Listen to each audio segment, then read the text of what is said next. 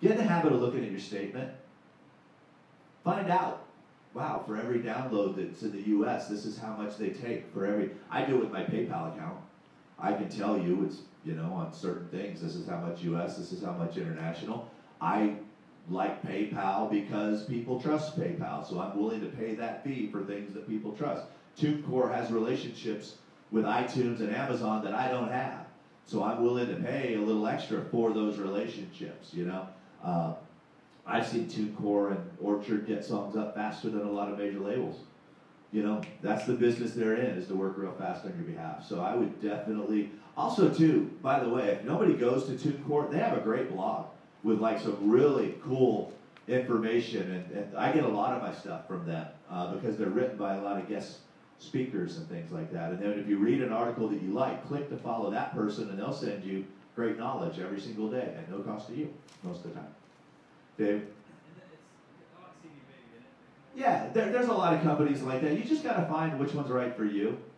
You know, like Discmate, there's hundreds of places that'll do discs for you there's there's all kinds of different things. You know, it's like if you're going to have a lot of music over in Europe, find a company that specializes in that. Definitely, if you can't collect it in the U.S., you're going to have a real hard time collecting it in Europe. So do research, ask questions, and that's what they're there for. Part of their service is to answer your questions. So make make sure that they're earning their pennies. You know that they're getting. And don't be afraid. Once again, don't be afraid to ask a question just because you don't understand it. That's the reason to ask the question. A lot of people in this business don't ask questions because they don't want to think that somebody thinks they don't know anything. It's expensive not asking. Okay, I read Donald Passman's book just to learn enough of the lingo to just BS my way through conversations until I could get enough time to get to somebody who knew. You know, oh yeah, oh, yeah, I'm all about that. Yeah, okay, great, I'll get back to you tomorrow. And then you get on the phone, dude, what you talking about? You know, that's like I always tell people. If somebody says they have to have a decision right now, it's not legit if they can't wait 24 hours for you to get back to your investor or whatever, it's not a real situation. Run from it. Avoid it like the plague. Yes, ma'am. Um, so I've heard people say that like the best. Are you from Minnesota? I am. Ah. Yep. Um, the best way to kind of get into artistry is to do songwriting, get your foot in the door, and then you'll get kind of noticed. Is that accurate? Like.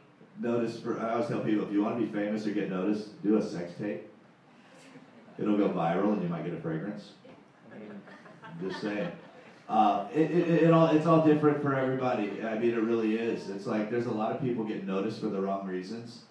Uh, one of the, the biggest things that I can advise people is don't don't get yourself seen too soon by a decision maker, because what happens is, you know, Scott Borchetta and I were speaking on a panel, and one of the girls asked him, they said, why can't we get to you? You know, why do you have so many gatekeepers? He said, trust me, the gatekeepers are there to protect you.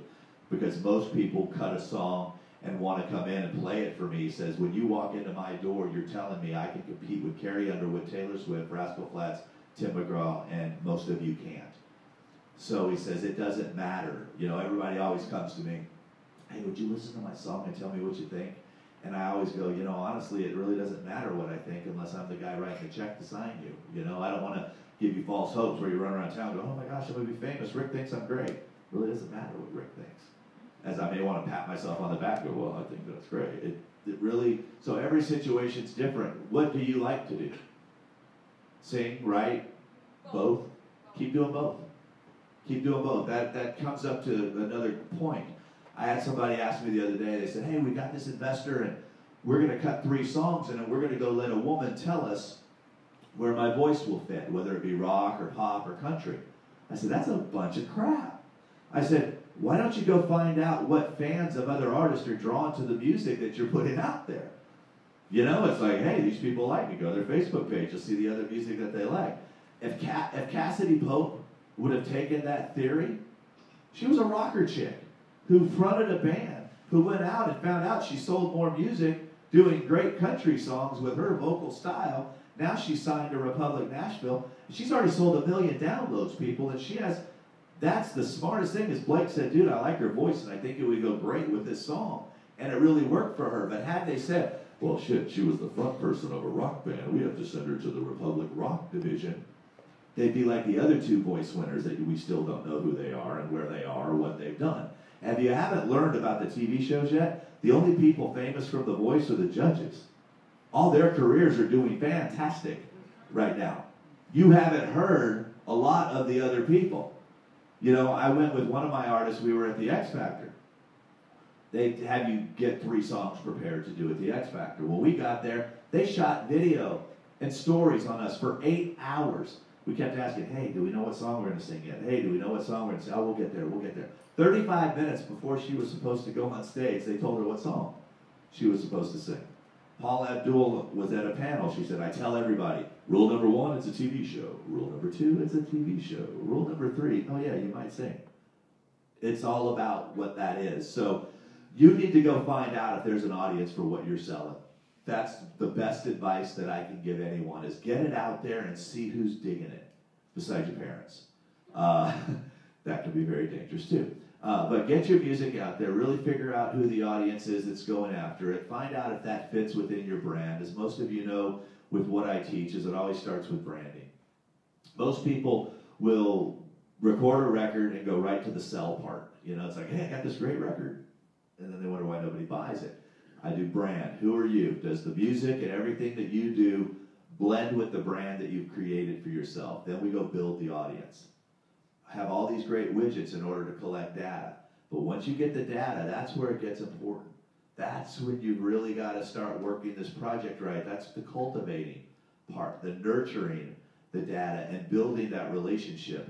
And then you go to the sell. Those are the four pillars of my house brand, build, cultivate, and sell. If you mix that up in any order, I, I can't necessarily say how it's going to work.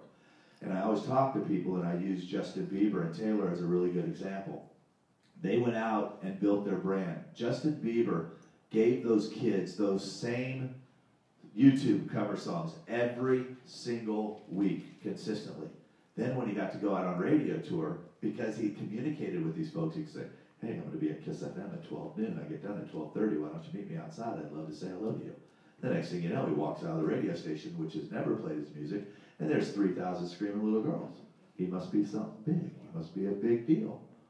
We did the same thing with Taylor. So they kept giving him, so he just kept giving and giving and giving. So how is it that this kid could sign his record deal and one year later sell out Madison Square Garden? He never lost contact with those fans. He had ways to communicate with them. You know, there's a lot of bands in town, and it's sad. They'll get every opportunity to be on every major tour. They'll get the radio station to play the songs. They'll do all these things, and then all of a sudden, on sale day comes, and they're like, oh my God, we only sold 9,000 records. That's because they're involved in what I like to call the push and pray method. They push it out and pray to God somebody finds it. I prefer to do the pull and stay. Pull these people in and stay engaged. And it's real easy now to stay engaged without having to give people all of your time if you're taught properly. And that's what I try to explain to folks sometimes. It takes the same amount of time to do it wrong as it does to do it right. So why not learn to do it right the first time? Well, because everybody wants to be famous. Everybody wants to get discovered. Don't discover people, you discover cures for diseases and planets. But uh, that's just the way I look at it is stop trying to be discovered, fo- focus more time on trying to build that fan base, build your audience, nurture that audience, because the true fan is worth $118. Is that still the number that they say? Because in your figure, a thousand fans would make you the six-figure musician. Yeah, that, that, that's about super, super fans and engaging them Yeah. and keep going back and also doing um, recurring income. Yeah, and there's ways that you can build these things. I mean, like I said, don't be afraid to ask your fans. You know, a lot of them are willing to go out and do a lot of this work for you. Uh, one time we were sitting there, we were all pissed off because we put up a cover video and everybody liked it. And I'm like, I need you to share it. I don't need more likes. I need more shares. You know, how are we going to do this? So we said, the first 10 people, the next 10 people that share this video will send you an MP3 of the song, and 85 people in the next two minutes shared this video. And I'm like, holy shit, we just forgot to ask. You know, we just kind of put our stuff out there and expect that people are just going to do with it what we hope that they're going to do with it. But if you build the relationships right, you can tell these fans what you want them to do with it. Questions, directions you want me to go in? Yes, ma'am.